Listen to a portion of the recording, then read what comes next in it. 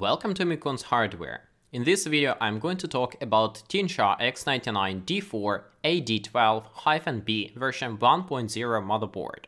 I have already tested Kllisre X99D4 version 1.0 motherboard, which looks almost identical except of the heatsink radiators and two SATA 3 ports. On JingSha X99D4, two SATA 3 ports under the graphics card are looking to the side, on Kllisre X99D4, two of the SATA ports are looking upwards and are blocked by the graphics card if you are using anything of a decent length and two-slot graphics card. After looking at those two motherboards, I thought it's exactly the same motherboard, just a slightly different motherboard layout and different color scheme. Fortunately or unfortunately, this is not exactly the case. Let's start with the motherboard specification and then I will tell you about all the test results.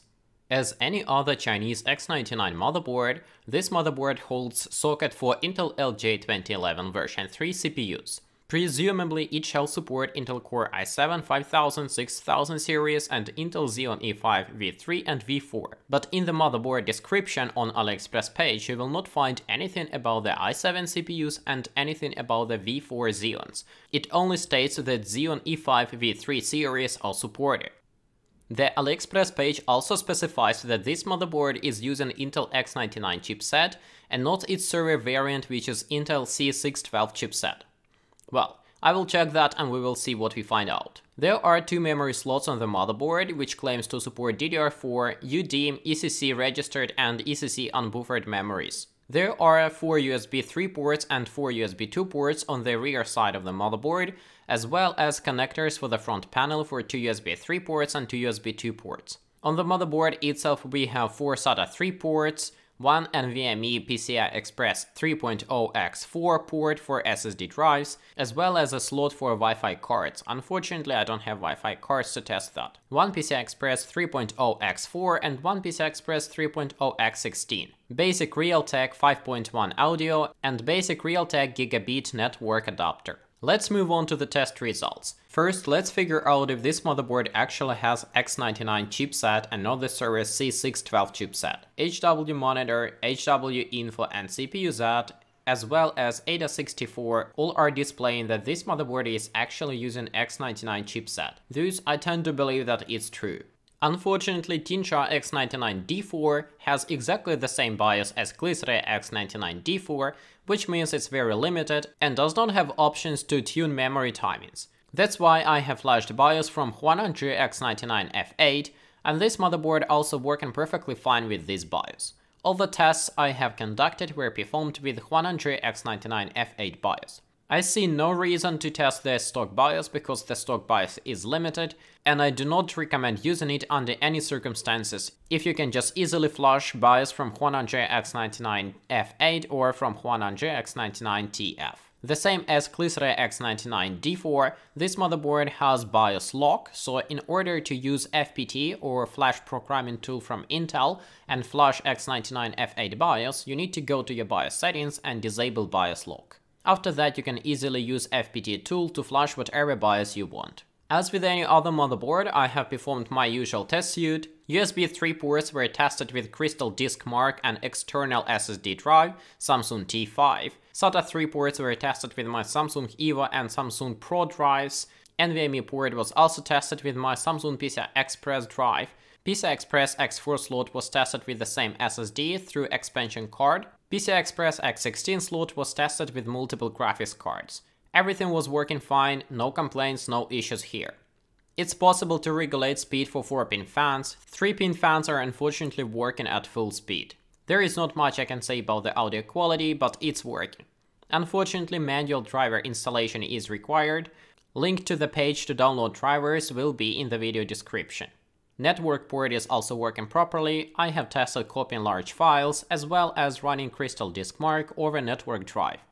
Windows Sleep Mode works on this motherboard, Linux is working with no issues, booting from NVMe drive is also supported, Turbo Boost is working fine with the two of my Xeon E5s I have tested, tuning memory timings with X99F8 BIOS working, RAM voltage, I am not sure how to validate that because there is a setting in the motherboard BIOS, but I'm not sure if these voltages are actually applied or not, because there are no sensors on the motherboard to validate what is the current memory voltage, and I was not able to find any software which would be able to report me what is the current memory voltage and not what is my memory XMP voltage.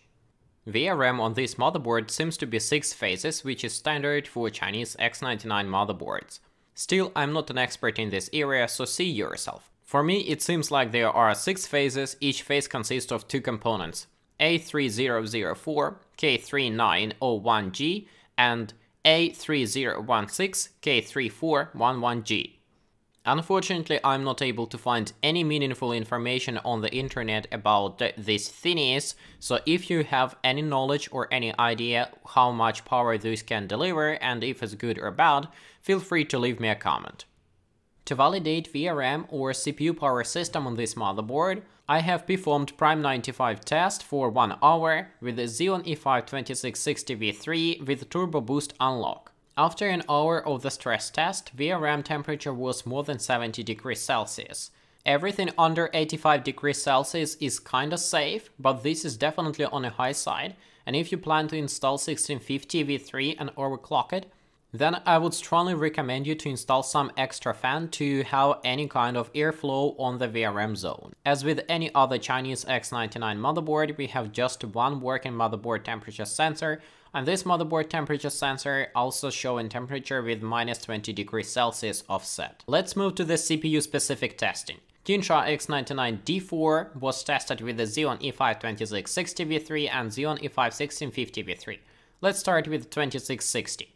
Maximum RAM speed as expected DDR4 2133. I have tested the following RAM configurations. Two sticks 4GB each. Unfortunately, these memory modules do not work on this motherboard. I have seen multiple reports online stating that this memory is not compatible with the Chinese X99 boards, that's why I have purchased myself two sticks of such cheap memory to validate if it's true or not. At least on this motherboard, these memory sticks refuse to work or this motherboard refuses to work with these memory sticks.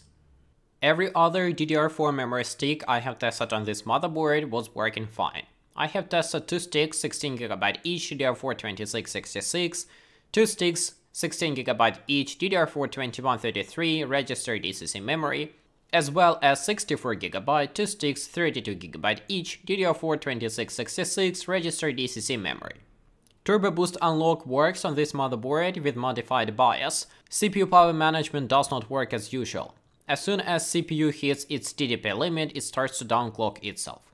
Also, on this motherboard, I had to apply additional BIOS settings to make sure that the Turbo Boost Unlock system is working properly.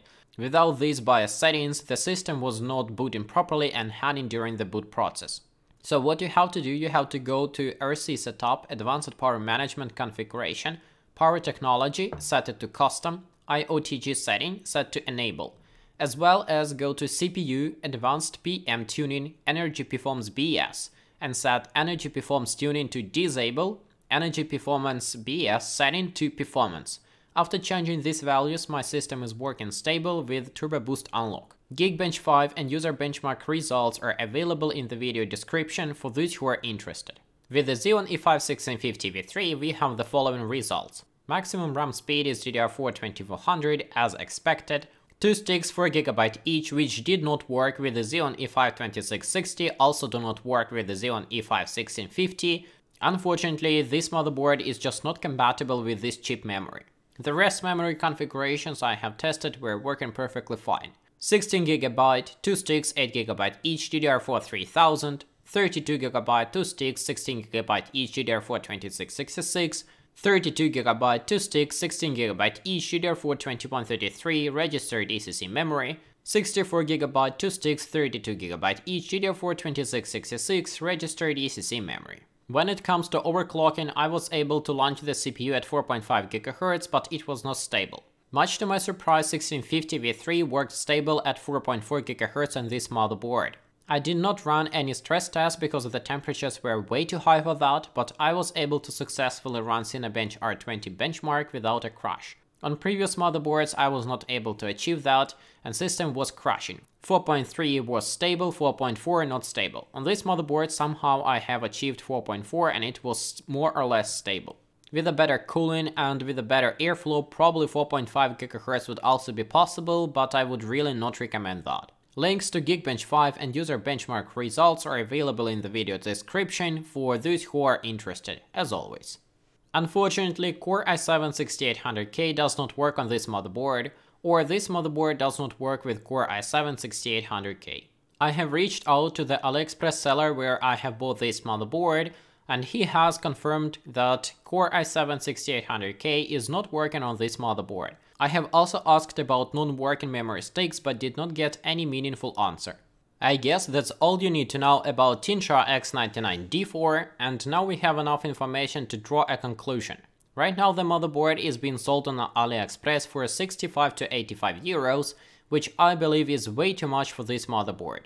From the pros I can name small form factor, PCI Express X4 and most of the features are working.